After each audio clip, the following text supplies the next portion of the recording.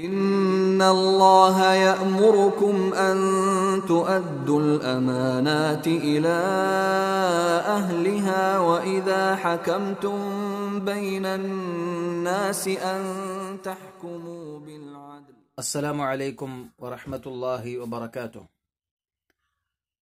الحمد لله رب العالمين والصلاة والسلام على رسوله الأمين وعلى آله وأصحابه أجمعين أما بعد فاتقوا الله عباد الله സഹോദരങ്ങളെ ഇന്നത്തെ നമ്മുടെ അൽ ഖുഫ്രാൻ ടോക്കിലൂടെ നമ്മൾ മനസ്സിലാക്കാൻ ഉദ്ദേശിക്കുന്നത് മഹത്തായ ഒരു വ്യക്തിത്വത്തെക്കുറിച്ചാണ് ഇസ്ലാമിക ലോകത്തിന്റെ രണ്ടാം ഖലീഫയായി കടന്നു വന്ന ഉമർ ബിനുൽ ഖത്താബ് റളിയല്ലാഹു തആല അൻ സത്യസന്ധത ധീരത ശക്തി നീതി വിരക്തി ഭയഭക്തി അള്ളാഹുവിലുള്ള സൂക്ഷ്മതാബോധം എപ്പോഴും അള്ളാഹുവിന്റെ നിരീക്ഷണത്തിലാണ് എന്ന ബോധം അള്ളാഹുവിനെ കുറിച്ചുള്ള അങ്ങേയറ്റത്തെ ഭയം റബ്ബിനെ ഭയപ്പെട്ടുകൊണ്ടുള്ള കരച്ചിൽ അതോടൊപ്പം കുശാഗ്ര ബുദ്ധി നിരീക്ഷണ പാടവം എപ്പോഴും ഉണർന്ന മനസ്സ് തുടങ്ങിയുള്ള ഉന്നതങ്ങളായ ഒട്ടനവധി ഗുണവിശേഷണങ്ങളോട് സമം ചേർത്ത് പറയാവുന്ന അനന്യസാധാരണമായ ഒരു വ്യക്തിത്വത്തിന് ഉടമയായിരുന്നു മഹാനായ ഉമർ ബിനുൽ ഖത്താബ് റളിയല്ലാഹു അൻഹു. കുറേശി ഗോത്രത്തിലാണ് അദ്ദേഹത്തിന്റെ ജനനം. അദ്ദേഹത്തിന്റെ കുഞ്ഞത്ത് നബിസല്ലാഹു അലഹി വസ്ലമ തന്നെ അദ്ദേഹത്തിന് നൽകിയതാണ്. കുഞ്ഞത്ത് എന്ന് പറഞ്ഞാൽ തന്റെ പുത്രന്റെ പേരിലേക്ക് ചേർത്ത് അബു എന്ന് വെച്ചിട്ട് വിളിക്കുന്നതിനാണ് കുഞ്ഞത്തി എന്ന് പറയാം. ഇപ്പോ ഉദാഹരണത്തിന് ഒരാൾക്ക് അബ്ദുറഹ്മാൻ എന്ന ഒരു മകനുണ്ടെങ്കിൽ അദ്ദേഹത്തെ ആ പിതാവിനെ അബു അബ്ദുറഹ്മാൻ എന്ന് വിളിക്കുന്നത് പോലെയുള്ള നാമത്തിനാണ് കുഞ്ഞത്ത് എന്ന് അറബിയിൽ പറയുന്നത്. അങ്ങനെ ഉള്ള കുഞ്ഞത്ത് ഉമർ അലി അള്ളാഹു അൻഹുവിന്റെത് അബു ഹഫ്സ് എന്നാണ്. അബു ഹഫ്സ്. ഈ കുഞ്ഞത്തിന് നൽകിയത് നബിസല്ലാഹു അലഹി വസ്ലമ തന്നെയാണ്. അതുപോലെ തന്നെ അദ്ദേഹത്തിന്റെ സ്ഥാനപ്പേര് ഫാറൂഖ് എന്നാണ്. ഉമറുൽ ഫാറൂഖ് എന്ന് സാധാരണയായി നമ്മൾ കേട്ടിട്ടുള്ളതാണ്. നബിസല്ലാഹു അലഹി വസ്ല്ലമക്ക് പ്രവാചകത്വം ലഭിച്ച് ആറ് വർഷം കഴിഞ്ഞാണ് അദ്ദേഹം ഇസ്ലാം സ്വീകരിക്കുന്നത്. അന്ന് അദ്ദേഹത്തിന് കേവലം ഇരുപത്തിയേഴ് വയസ്സ് മാത്രമാണുള്ളത്. ഇസ്ലാമിക ചരിത്രത്തിൽ ഏറെ നിർണായകമായ ബദർ യുദ്ധം ഉഹദ് യുദ്ധം പോലുള്ള യുദ്ധങ്ങളിൽ അദ്ദേഹം പങ്കെടുത്തിട്ടുണ്ട്. നിരവധി കൊച്ചു സൈന്യങ്ങളിൽ അദ്ദേഹം പങ്കുചേർന്നിട്ടുണ്ട്. പലതിന്റെയും നായകസ്ഥാനം വഹിച്ചിട്ടുമുണ്ട്. ഉഹദ് യുദ്ധവേളയിൽ ഉന്നതരായ സുഹാബാക്കൾ പോലും ചെതറിയോടുന്ന ഒരു സാഹചര്യമുണ്ടായിരുന്നു. നബിസല്ലാഹു അലഹി വസ്ല്ലം വഫാത്തായി കൊല്ലപ്പെട്ടിട്ടുണ്ട് എന്ന കിംവദന്തി പരന്നതിന്റെ അടിസ്ഥാനത്തിൽ പിന്തിരിഞ്ഞോടുന്ന അവസ്ഥയുണ്ടായി. ആ സാഹചര്യത്തിൽ നബിസല്ലാഹു അലഹി വസ്ലമയുടെ കൂടെ ഉറച്ചുനിന്ന ഏതാനും സുഹാബികളിൽ ഒരാളാണ് ഉമർ ബുൽ ഖത്താബ് റലിയല്ലാഹു അൻഹു. സ്വർഗം കൊണ്ട് സന്തോഷ വാർത്ത അറിയിക്കപ്പെട്ടവരിൽ ആദ്യ സ്ഥാനീയരിൽപ്പെട്ട ഒരു വ്യക്തിത്വവും കൂടിയാണ് അദ്ദേഹം എന്ന് നമ്മൾ മനസ്സിലാക്കേണ്ടതുണ്ട്. ഉമർ അലി അള്ളാഹു അൻഹുവിന്റെ ഇസ്ലാം ആശ്ലേഷണം യഥാർത്ഥത്തിൽ ഒരു പുതിയ പ്രബോധന ഘട്ടത്തിന് തുടക്കം കുറിച്ചതായി ഗണിക്കപ്പെടുന്നു യഥാർത്ഥത്തിൽ പ്രവാചകൻ സൊല്ലാഹു അലിഹി വസല്ലമയുടെ പ്രാർത്ഥനയുടെ ഫലമായിരുന്നു ഉമർ അലി അള്ളാഹു അൻഹുവിന്റെ ഇസ്ലാം സ്വീകരണം എന്ന് നമുക്ക് കാണാൻ കഴിയും നബി സല്ലല്ലാഹു അലൈഹി വസല്ലം പ്രാർത്ഥിച്ചിരുന്നു اللهم أعز الإسلام بأحب هذين الرجلين إليك بأبي جهل وبعمر بن الخطاب അള്ളാഹുവെ ഈ രണ്ട് മനുഷ്യരിൽ ഒരാളെ കൊണ്ട് ഇസ്ലാമിന് നീ ഇസ്സത്ത് പ്രതാപം വർദ്ധിപ്പിക്കണേ. അതുകൊണ്ട് പ്രവാചകൻ ഉദ്ദേശിച്ചത് അബൂ ജഹലിനെയും ഉമർ ഖത്താബിനെയുമാണ്. നബി സല്ലല്ലാഹു അലൈഹി വസല്ലമക്ക് തന്നെ ഏറ്റവും പ്രിയം ഉമറിനോടായിരുന്നു എന്ന് ചരിത്രത്തിൽ കാണുന്നുണ്ട്. അതിന് പല കാരണങ്ങളും ഉണ്ടായിരുന്നു താനും. ഉമർ അലി അള്ളാഹു അൻഹു വലിയ ധൈര്യശാലിയും സത്യത്തിന്റെ മാർഗത്തിൽ ഒരാളെയും ഭയപ്പെടാത്ത പ്രകൃതക്കാരനുമായിരുന്നു. മക്കയിൽ നിന്നും മദീനയിലേക്കുള്ള ഹിജറ ഇതിനുള്ള ഏറ്റവും വലിയ തെളിവാണ്. അലി അള്ളാഹു അൻഹു പറയുന്നുണ്ട് വളരെ ഒളിഞ്ഞും പാത്തും പതുങ്ങിയും കൊണ്ടല്ലാതെ ഹിജറ പോയ ഒരാളെയും എനിക്കറിയില്ല. ഉമർ ഖത്താബിനെ അല്ലാതെ. അദ്ദേഹം ഹിജറ പോകാൻ തീരുമാനിച്ച സന്ദർഭം വാൾ തൂക്കിപ്പിടിച്ചുകൊണ്ട് കയ്യിൽ അമ്പുകളേന്തിക്കൊണ്ട് കായബത്തിങ്കിൽ ചെന്നു. ഏഴ് പ്രാവശ്യം കാബ ത്വാഫ് ചെയ്തു. ശേഷം അവിടവിടങ്ങളിലായി ഒരുമിച്ച് കൂടി നിൽക്കുന്ന കുറേശി പ്രമുഖരുടെ അടുക്കൽ ചെന്നുകൊണ്ട് ഉജ്ജ്വലമായ പ്രഖ്യാപനം നടത്തി. ആർക്കെങ്കിലും തന്റെ ഉമ്മ നഷ്ടപ്പെടണമെന്നുണ്ടെങ്കിൽ തന്റെ മക്കൾ അനാഥരാവണമെന്ന് താല്പര്യമുണ്ടെങ്കിൽ തന്റെ ഭാര്യമാർ വിധവകളായി തീരണമെന്ന് ആഗ്രഹിക്കുന്നുവെങ്കിൽ ഈ താഴ്വരക്കപ്പുറത്ത് വെച്ച് അവൻ എന്നെ കണ്ടുമുട്ടിക്കൊള്ളട്ടെ എന്ന് പറഞ്ഞു. ഇങ്ങനെയുള്ള പ്രഖ്യാപനം നടത്തിയതിനു ശേഷം പരസ്യമായിട്ടാണ് അദ്ദേഹം ഹിജറ പോയത് എന്ന് നമുക്ക് മനസ്സിലാക്കുവാൻ സാധിക്കും. പരിശുദ്ധ ഇസ്ലാമിൽ അദ്ദേഹത്തിന് ധാരാളം ശ്രേഷ്ഠതകളുണ്ട്. അതിൽപ്പെട്ട വളരെ പ്രസിദ്ധമായ ഒരു സംഭവം ഇമാം ബുഖാരിയും മുസ്ലിമും തങ്ങളുടെ സ്വഹീഹുകളിൽ ഉദ്ധരിച്ചിട്ടുണ്ട്. നബി സല്ലല്ലാഹു അലൈഹി വസല്ലം പറഞ്ഞു ബൈന ഫിൽ ജന്ന. ഞാൻ ഉറക്കത്തിലായിരിക്കെ ഞാൻ എന്നെ സ്വ- സ്വർഗത്തിൽ കണ്ടു. അഥവാ പ്രവാചകൻ സല്ലല്ലാഹു അലൈഹി വസല്ലമക്ക് സ്വപ്നദർശനമുണ്ടായി. പ്രവാചകൻ സ്വർഗത്തിൽ നിൽക്കുന്നതായി. ഫൈദം തതവദ്ദഉ ഇലാ ജാനിബി ഖസർ. ആ സമയത്തതാ ഒരു പെണ്ണ് ഒരു കൊട്ടാരത്തിന്റെ ചാരത്തിൽ നിന്ന് ഉദു ചെയ്യുന്നത് കാണുന്നു. പ്രവാചകൻ ചോദിച്ചു ലിമൻ ഹാദൽ ഖസർ? ആരുടേതാണ് ഈ കൊട്ടാരം? അവിടുന്ന് പറഞ്ഞു ലിഉമറ ഇത് ഉമറിനുള്ളതാണ്. ഫതക്കറത്തു ഹീറത്തക് ഈ സംഭവം ഉമർ ബിൻ ഖത്താബിനോട് തന്നെ നബി അലൈഹി സ്വലമ വിവരിക്കുകയാണ് അപ്പോൾ റസൂൽ പറഞ്ഞു ഫതക്കറത്തു ഖീറതക് ആ സമയത്ത് താങ്കളുടെ താങ്കളുടെ ഈർഷ്യത ഉമറെ ഞാൻ ഓർത്തുപോയി. ഫവല്ലൈതു മുദ്ബിറ അത് ഓർത്തപ്പോൾ ഞാൻ പിന്നീട് ആ കൊട്ടാരത്തിലേക്ക് എത്തി നോക്കാനോ അവിടെ നിന്ന് പ്രവേശിക്കുവാനോ ഒന്നും ഞാൻ ശ്രമിച്ചില്ല. ഞാൻ അവിടെ നിന്ന് പിന്തിരിഞ്ഞ് മടങ്ങിപ്പോന്നു. ഇത് കേട്ടപ്പോൾ ഫബക്ക ഉമറു. അദ്ദേഹം കരഞ്ഞുപോയി. ഉമർ അലി അള്ളാഹു കരഞ്ഞു. വക്കാൽ അദ്ദേഹം പറഞ്ഞു അലൈക അഖാറു യാ റസൂലല്ലാ? അള്ളാഹുവിന്റെ ദൂതരെ താങ്കളോട് ഞാൻ ഈർഷ്യത കാണിക്കുകയോ എന്ന് പറഞ്ഞുകൊണ്ട് അദ്ദേഹം കരഞ്ഞു. അപ്പോ ഉമർ അലി അള്ളാഹു അനുഹുവിനുള്ള അത്രയും മഹത്തായ സ്ഥാനമാണ് ഈ സംഭവത്തിൽ കാണുന്നത്. പരലോകത്ത് സ്വർഗത്തിൽ അദ്ദേഹത്തിന് ഒരു കൊട്ടാരം പണിയപ്പെട്ടിട്ടുണ്ട് എന്നും അത് ഇവിടം വെച്ച് തന്നെ സന്തോഷ വാർത്ത അറിയിക്കപ്പെട്ടു എന്നതും അദ്ദേഹത്തിന്റെ വലിയ സ്ഥാനത്തെ തന്നെയാണ് കാണിക്കുന്നത്. മാത്രവുമല്ല ഉമർ അലി അള്ളാഹു അൻഹുവിനോട് റസൂൽ സല്ലാഹു അലഹി വസല്ലം ഒരിക്കൽ പറഞ്ഞു യബ്നൽ ഖത്താബ് ഖത്താബിന്റെ പുത്ര. വല്ലദി നഫ്സി ബിയദി എന്റെ ആത്മാവ് ആരുടെ കയ്യിലാണോ അവൻ തന്നെ സത്യം. മാ ലഖിയക ശൈത്താനു സാലികൻ ഫജ്ജൻ ഖത്തു. താങ്കൾ ഒരു പ്രവേ ഒരു മാർഗത്തിൽ ഒരു വഴിയിൽ പ്രവേശിച്ചത് പിശാച്ച് കണ്ടാൽ ഇല്ലാ സലക ഫജ്ജൻ ഗൈറ ഫജ്ജിക്.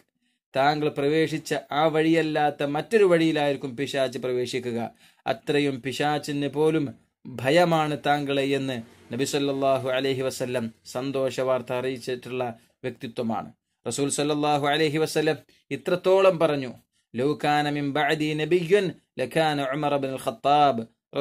അൻഹു. എനിക്ക് ശേഷം ഒരു നബി ഉണ്ടായിരുന്നുവെങ്കിൽ അത് ഉമർ ഇബ്നുൽ ഖത്താബ് ആകുമായിരുന്നു. ഇമാം അൽബാനി റഹിമഹുല്ല സ്വഹീഹാണ് എന്ന് വിലയിരുത്തിയിട്ടുള്ള ഹദീസാണിത്. മറ്റൊരിക്കൽ റസൂൽ സല്ലാഹു അലഹി വസല്ലമയും അബൂബക്കറും ഉമറും ഉസ്മാനും റളിയല്ലാഹു അൻഹും അജ്മഈൻ.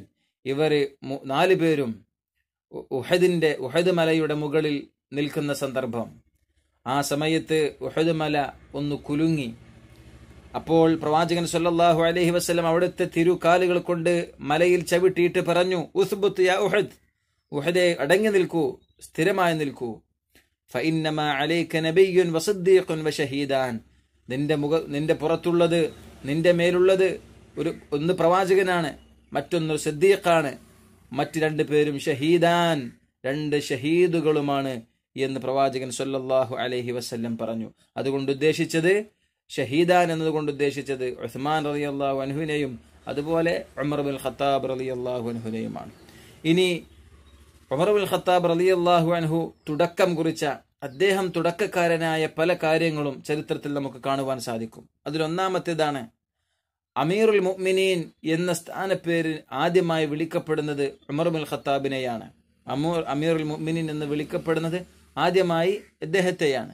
രണ്ടാമത്തെ കാര്യം ഹിജറ കലണ്ടർ ആരംഭിച്ചത് ഉമർ ഉമർ അലി അള്ളാഹു അൻഹുവാണ് അതുപോലെ തന്നെ രാത്രി കാലങ്ങളിൽ തങ്ങളുടെ പ്ര തന്റെ പ്രജകളുടെ അവസ്ഥകളും ക്ഷാമക്ഷേമങ്ങളും അറിയുന്നതിന് വേണ്ടി ഗ്രാമങ്ങളിലൂടെയും മദീനയുടെ തെരുവുകളിലൂടെയും വീട്ട് വീടിന്റെ ഓരങ്ങളിലൂടെയും ഒക്കെ കറങ്ങി നടക്കുന്ന രീതി ആരംഭിച്ചതും ഇദ്ദേഹമാണ്. അതുപോലെ മദ്യപാനിക്ക് എൺപത് അടി ശിക്ഷ എന്ന സമ്പ്രദായം നടപ്പിലാക്കി തുടങ്ങിയതും ഉമർ ബിൻ ഖത്താബ് അലി അള്ളാഹു അൻഹുവായിരുന്നു വേറെയും പല കാര്യങ്ങളും അദ്ദേഹം തുടക്കം കുറിച്ചതായി നമുക്ക് കാണുവാൻ സാധിക്കും. അദ്ദേഹത്തിന്റെ മഹത്തായ ഈ വ്യക്തിപ്രഭാവം കൊണ്ട് തന്നെ അദ്ദേഹത്തിന്റെ സ്വഭാവ വൈശിഷ്ട്യം കൊണ്ട് തന്നെ ഉന്നതരായ സുഹാബാക്കൾ പോലും അദ്ദേഹത്തിനെ അദ്ദേഹത്തെ പ്രശംസിച്ച് പറഞ്ഞ ധാരാളം വാചകങ്ങൾ നമുക്ക് കാണുവാൻ സാധിക്കും. നബി സല്ലാഹു അലഹി വസ്ലമക്ക് ശേഷം ഈ ഉമ്മത്തിലെ ഏറ്റവും ശ്രേഷ്ഠൻ എന്നറിയപ്പെടുന്ന അബൂബക്കർ സിദ്ദീഖ് റളിയല്ലാഹു അൻഹു പറഞ്ഞു മാ അലാ ഇലയ്യ മിൻ ഭൂമിപ്പുറത്ത് ഉമറിനേക്കാളും എനിക്ക് ഇഷ്ടമുള്ള മറ്റൊരാളുമില്ല. അബൂബക്കർ അലി അള്ളാഹുൻഹു രോഗാതുരനായി കിടക്കുന്ന സന്ദർഭത്തിൽ മരണം മുമ്പിൽ കണ്ട് കിടക്കുന്ന സാഹചര്യത്തിൽ അദ്ദേഹത്തോട് പറയപ്പെട്ടു മാതാ തൊക്കൂലു റബ്ബിക്ക വഖദ് വല്ലൈത ഉമറ. അബൂബക്കർ താങ്കൾ എന്താണ് താങ്കളുടെ റബ്ബിനോട് സമാധാനം പറയുക? വഖദ് വല്ലൈ ഉമറ. താങ്കൾ ഉമറിനെയാണല്ലോ ഭരണമേൽപ്പിച്ചത്. ഇതിനെപ്പറ്റി താങ്കൾക്ക് ചോദ്യമുണ്ടായാൽ താങ്കളുടെ റബ്ബിനോട് എന്തു പറയും? എന്ന് ചോദിച്ചപ്പോൾ അദ്ദേഹം നൽകിയ മറുപടി ഏറെ ശ്രദ്ധേയമാണ്. അദ്ദേഹം പറഞ്ഞു അഖൂലു ലഹു എന്റെ റബ്ബിനോട് ഞാൻ പറയും വല്ലൈതു അലൈഹിം ഖൈറഹും അവരിൽ ഏറ്റവും ഉത്തമനെയാണ് റബ്ബെ ഞാൻ അവരുടെ രക്ഷാധികാരിയായി അവരുടെ കാര്യങ്ങൾ ഏൽപ്പിച്ചു പോന്നത് എന്ന്. അബ്ദുല്ലാഹിബിൻ മസ്ഊദ് അള്ളാഹു അൻഹു പറഞ്ഞു ഉമറു അഅലമുനാ ബികിതാബില്ലാ വഅഫ്ഹമുനാ ഫീ ദീനില്ല ഉമർ അദ്ദേഹം ഞങ്ങളുടെ കൂട്ടത്തിൽ അള്ളാഹുവിന്റെ കിതാബ് ഏറ്റവും നന്നായി അറിയുന്നവനാണ്. വഫ്ഹമുനാഫിയദീനില്ല അള്ളാഹുവിന്റെ ദീനിനെക്കുറിച്ച് കുറിച്ച് ഏറ്റവും നന്നായി ഗ്രഹിക്കുന്നവനും ഞങ്ങളുടെ കൂട്ടത്തിൽ അദ്ദേഹമാണ് എന്ന് പറഞ്ഞു. അതുപോലെ തന്നെ അദ്ദേഹത്തിന്റെ ചരിത്രം പരിശോധിക്കുമ്പോൾ എടുത്തു പറയേണ്ട കാര്യമാണ്. അദ്ദേഹം നടത്തിയിട്ടുള്ള സൈനിക നടപടികൾ. അതിൽ അദ്ദേഹം നേടിയെടുത്ത സൈനിക വിജയങ്ങൾ ധാരാളമാണ്. അതിൽ പ്രധാനമായി നമുക്ക് കാണാം ഷാമിൽ ഡബസ്കസ് ജോർഡാൻ ബൈസാൻ അതുപോലെ തന്നെ തൊബരിയ അൽ അൽ ജാബിയ അസ്കലാൻ ഖസ ഖുദുസ് ബാലബക് തുടങ്ങിയുള്ള പല ധാരാളം പ്രദേശങ്ങൾ അദ്ദേഹത്തിന്റെ ഭരണകാലത്ത് പിടിച്ചടക്കുകയുണ്ടായി. അതുപോലെ തന്നെ ഈജിപ്തിലെ പല പ്രദേശങ്ങളും പിടിച്ചടക്കുകയുണ്ടായി.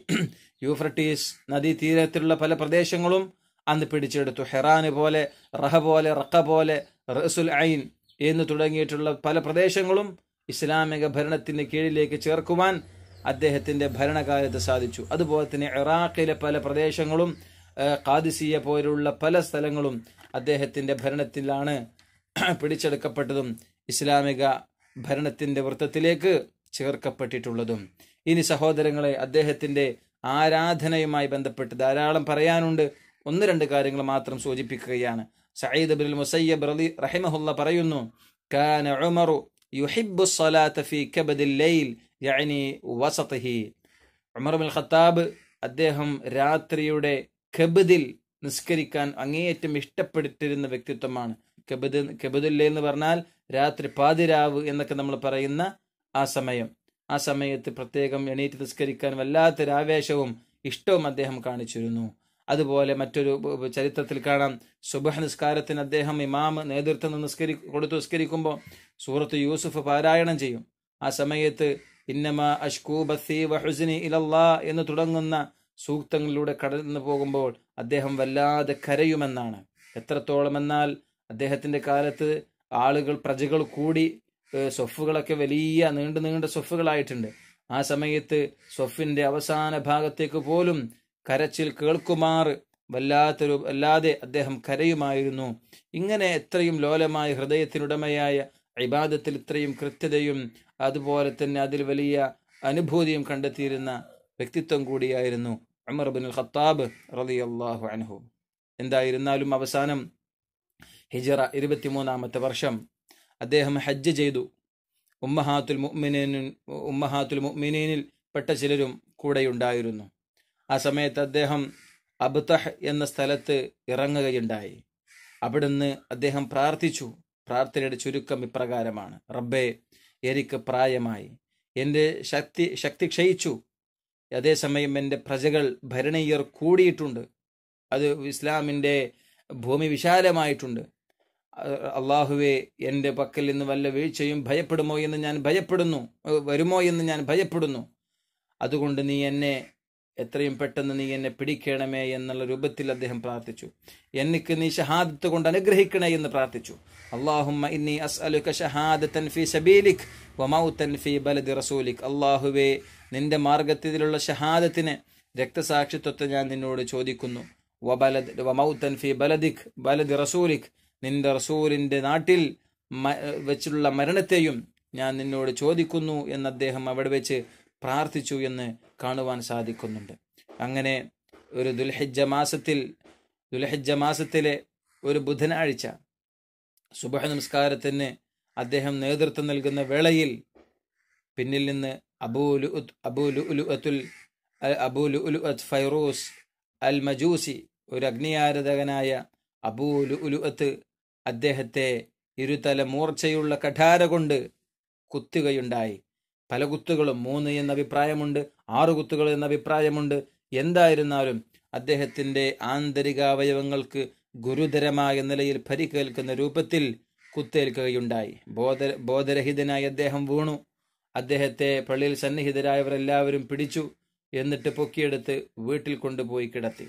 ആ രോഗത്തിൽ നിന്ന് പിന്നീട് അദ്ദേഹം മോചിതനായിട്ടില്ല. ആ പ്രയാസത്തിൽ നിന്ന് മോചിതനായിട്ടില്ല. അതാണ് അദ്ദേഹത്തിന്റെ മരണകാരണമായി നമുക്ക് കാണുവാൻ സാധിക്കുന്നത്. എന്തായിരുന്നാലും വളരെ സംഭവ ബഹുലമായിട്ടുള്ള ജീവിതം അതിലെ ഏതാനും ചില ഭാഗങ്ങൾ അവിടങ്ങളിടങ്ങളിൽ നിന്നായി പെറുക്കിയെടുത്ത് പിന്നെ അവതരിപ്പിക്കപ്പെട്ടതാണ്. ഇത് അദ്ദേഹത്തിന്റെ ചരിത്രം വളരെ വിശാലമാണ്. അറുപതാമത്തെ വയസ്സിൽ അദ്ദേഹം ഈ ലോകത്തോട് വിട പറയുന്നതിന് മുമ്പ് അദ്ദേഹം സൃഷ്ടിച്ചെടുത്ത ചരിത്രം തുല്യതയില്ലാത്ത ചരിത്രമാണ് എന്ന് നമുക്ക് കാണുവാൻ സാധിക്കും. അതുകൊണ്ട് തന്നെ അദ്ദേഹത്തിന്റെ ജീവിത ചരിത്രത്തെ വിശാലമായ പഠനത്തിനും ഘന മ- മനനത്തിനും വിശാ വിധേയമാക്കണം എന്ന് ആ, ഓർമ്മപ്പെടുത്തിക്കൊണ്ട് ആവശ്യപ്പെട്ടുകൊണ്ട് ഞാൻ ഈ സംസാരം ചുരുക്കുന്നു വസല്ലല്ലാഹു വസല്ലം വബാറക അലാ നബിയ്യിന മുഹമ്മദിൻ وآله وصحبه أجمعين والحمد لله رب العالمين به إن الله كان سميعا بصيرا